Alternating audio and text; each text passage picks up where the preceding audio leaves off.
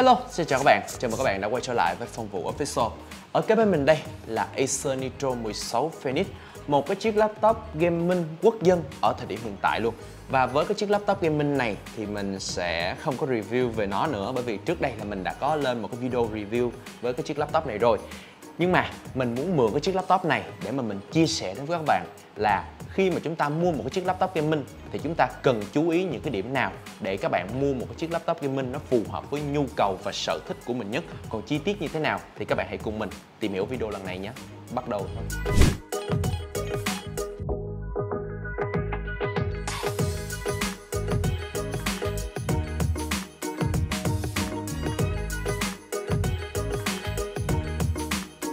Rồi, với laptop gaming thì ngoài chức năng chính mà nó có thể phục vụ cho các bạn đó chính là việc chơi game thì laptop gaming ở thời điểm hiện tại nó có thể là làm được rất là nhiều những cái việc khác nữa. Đầu tiên đó chính là nó sẽ phục vụ rất tốt cho công việc học tập của chúng ta. Ngoài ra thì nếu như mà các bạn đem nó để mà các bạn đi làm thì nó vẫn phục vụ rất là tốt luôn bởi vì ở thời điểm hiện tại có rất là nhiều những cái chiếc laptop gaming với những cái cấu hình cực kỳ mạnh mẽ và màn hình của nó thì chuẩn màu rất là cao nên chúng ta có thể là làm đồ họa trực tiếp ở trên nó và với laptop gaming thì các bạn sẽ được chia ra làm 3 phân khúc chính.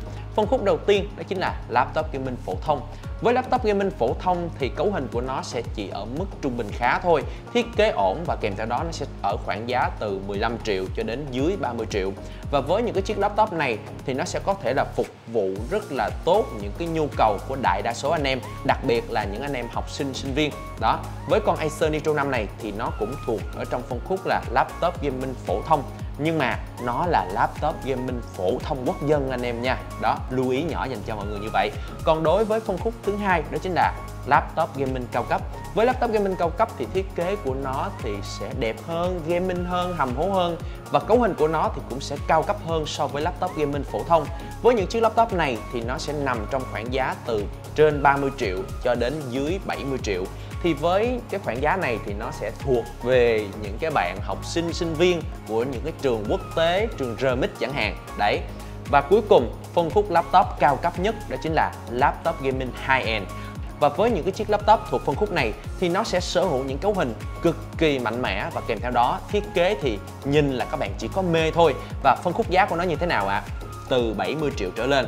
Rồi, và chúng ta đã đi qua sơ sơ về những cái phần à, phân khúc giá của những cái chiếc laptop gaming rồi. Bây giờ chúng ta sẽ đến với cái phần tiếp theo đi.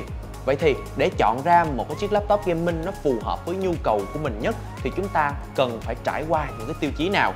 Và với những cái tiêu chí mà mình sắp liệt kê ra ở sau đây, thì nó sẽ chỉ là những cái tiêu chí chung thôi các bạn nha. Nhưng mà chúng ta vẫn có thể áp dụng được để mà các bạn có thể mua một cái chiếc laptop gaming nó phù hợp với nhu cầu của mình nhất đầu tiên, đó chính là về việc lựa chọn CPU thì các bạn nên lựa chọn những chiếc laptop gaming sở hữu CPU Intel Core i5 hoặc là AMD Ryzen 5 trở lên. Bởi vì với những cái con CPU này thì nó sẽ có hiệu năng mạnh mẽ hơn so với Intel Core 3 hoặc là Ryzen 3 đó, nhưng mà nó sẽ yếu hơn một xíu so với Ryzen 7 và Intel Core 7 nhưng mà bù lại thì giá thành của nó sẽ dễ chịu hơn rất là nhiều và có một cái lưu ý nhỏ dành cho các bạn nữa đó chính là khi mà các bạn lựa chọn CPU á thì chúng ta hãy chọn những dòng CPU thuộc đời mới nhất. Ví dụ như tối thiểu nha Intel thì các bạn nên chọn những cái dòng từ Gen 11, Gen 12, Gen 13 hoặc là Gen 14 còn đối với AMD thì các bạn nên chọn những dòng 5000 series, 6000 series hoặc là 7000 series luôn. Đó còn về phần hậu tố phía sau của những con CPU thì chúng ta nên ưu tiên những cái con CPU có hậu tố là H hoặc là HS bởi vì với những con CPU này, nó được thiết kế riêng ra để dành cho những cái dòng laptop gaming vì nó có hiệu năng rất cao còn về RAM và ổ cứng SSD thì đối với RAM, chúng ta nên chọn những cái chiếc laptop có tối thiểu là 16GB RAM trở lên để cho các bạn chạy đua trên nổ thì hiệu năng của máy nó sẽ được bung ra một cách tối đa. Còn đối với SSD thì mình nghĩ với những cái chiếc laptop gaming ở thời điểm hiện tại thì chúng ta sẽ phải được trang bị tối thiểu ít nhất thì cũng phải là 512GB để cho các bạn có thể lưu trữ rất là nhiều những cái tựa game để cho chúng ta chơi thì nó sẽ thoải mái hơn. Kế tiếp, một linh kiện cũng rất quan trọng ở trong laptop gaming đó chính là GPU. GPU thì chúng ta sẽ không có một cái tiêu chí gì đó nó chung chung để mà các bạn có thể là lựa chọn cho nó phù hợp nhất. Nhưng mà đối với cá nhân mình thì với những cái chiếc laptop gaming ở thời điểm hiện tại thì chúng ta nên trang bị tối thiểu là RTX 3050 thì nó sẽ hỗ trợ chơi game một cách tối đa hơn. Thứ nhất đó chính là RTX 3050 nó thuộc dòng RTX 3000 series thì nó sẽ được hỗ trợ công nghệ Ray Tracing và kèm theo đó là DLSS 2 với những cái công nghệ này thì nó sẽ giúp cho những cái trải nghiệm game của chúng ta sẽ được nâng cao hơn rất là nhiều.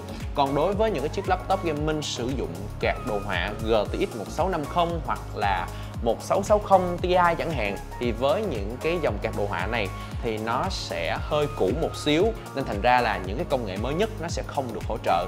Nên mình nghĩ các bạn nên sử dụng tối thiểu là RTX 3050 nha. Hệ thống tản nhiệt trên laptop gaming cũng rất quan trọng. Hệ thống tản nhiệt cho laptop chơi game càng nhiều khe tản nhiệt càng tốt. Bên trong có ít nhất là hai quạt và hệ thống ống đồng, một cho CPU và một cho GPU. Ra hai heatsink nối với hai quạt. Các bạn cũng có thể mua thêm những cái phụ kiện ví dụ như là đế tản nhiệt ngoài cho khả năng tản nhiệt được tốt hơn cho máy. Tiếp đến là màn hình của laptop gaming. Với những chiếc laptop gaming ở thời điểm hiện tại thì nó sẽ có khá là nhiều những cái kích cỡ màn hình khác nhau cho một cái chiếc laptop gaming. Ví dụ như là 14 inch, 15.6 inch, 16 inch hay kể cả là 17.3 inch. Với những cái kích cỡ màn hình khác nhau như thế này thì thứ nhất là nó mang lại sự đa dạng cho người dùng. Chúng ta có thể thoải mái lựa chọn phù hợp với nhu cầu của mình. Thích cái nào thì chúng ta chọn cái đó. Nhưng mà nó sẽ có những điểm mạnh và có những cái điểm yếu riêng cho từng cái loại màn hình. Thứ nhất, với màn hình kích thước nhỏ thì nó sẽ mang lại cho các bạn một cái tính cơ động cao. Các bạn bỏ vào ba lô hay là các bạn mang đi mang lại thì nó cũng sẽ rất là nhẹ nhàng.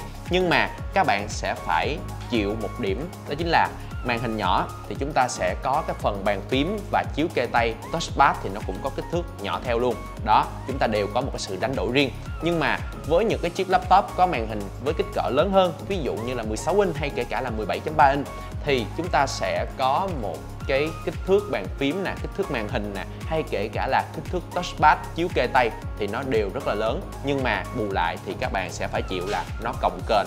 Nói chung là cái nào nó cũng có điểm mạnh và điểm yếu riêng. Nhưng mà đối với cá nhân mình mình nghĩ nha, với một cái chiếc laptop gaming có màn hình kích cỡ chuẩn á, thì mình nghĩ nó phải có kích cỡ từ 15.6 inch trở lên, thì nó mới có một cái diện tích đủ rộng để cho các bạn có thể thao tác với nó. Hay kể cả là các bạn có thể ngồi, các bạn chơi game, các bạn có thể bao quát hơn cái phần bản đồ và chúng ta sẽ có những cái trải nghiệm game nó cũng tốt hơn. và và có một điểm cũng rất là quan trọng ở cái phần màn hình này đó chính là về tần số quét với tần số quét của màn hình thì chúng ta nên mua những cái chiếc laptop gaming nó có tần số quét màn hình là từ 144 Hz trở lên thì nó sẽ mang lại cho các bạn một cái trải nghiệm chơi game mượt mà hơn nữa đặc biệt là những tựa game FPS Bên cạnh đó thì bàn phím cũng là một thứ mà các bạn nên quan tâm và ưu tiên. Bàn phím laptop gaming thì chúng ta nên ưu tiên những cái loại bàn phím full size hoặc là bàn phím cơ, hành trình phím sâu và dài để mang lại một cái cảm giác gõ tốt. Layout phổ thông có LED hỗ trợ nếu như có thêm LED RGB và công nghệ chống gối phím anti-ghosting thì càng tốt. Cổng kết nối thì chúng ta nên ưu tiên vị trí các cổng kết nối được đặt ở phía sau hoặc là bên cạnh trái của máy. Lựa chọn những chiếc laptop gaming nó có từ hai cổng USB-A 2.0 trở lên. Ưu tiên là tốc độ 3.0 hoặc là 3.1. Có cổng mạng LAN RJ45, có cổng xuất hình HDMI hoặc là USB-C hỗ trợ DisplayPort và Thunderbolt 3 thì nó càng tốt. Ngoài ra, với những mẫu laptop gaming hiện nay thì ứng dụng của nhà phát hành tích hợp ở trên máy thì cũng rất là cần thiết. Ví dụ như là Asus thì chúng ta sẽ có Armory Crack, Acer thì chúng ta sẽ có Acer Nitro Sin hay là Lenovo thì chúng ta sẽ có Lenovo Vintage. Và với những cái phần mềm này thì các bạn sẽ có thể dễ dàng kiểm soát nhiệt độ của CPU, của GPU hay kể cả là tốc độ quạt, tản nhiệt của máy luôn. Rất là trực quan và tiện lợi. Hy vọng là với những cái tiêu chí ở trên thì các bạn sẽ có thể lựa chọn ra một cái chiếc laptop phù hợp với nhu cầu của mình nhất. Còn các bạn chúng ta chưa lựa chọn được cái chiếc laptop nào phù hợp với nhu cầu của mình thì ở đây mình có con Acer Nitro 5, một đại diện rất nổi bật ở trong phân khúc laptop gaming ở thời điểm hiện tại và nó được mệnh danh là laptop gaming quốc dân còn link ở đâu thì mình sẽ để ở phía dưới phần description của video này các bạn nhé.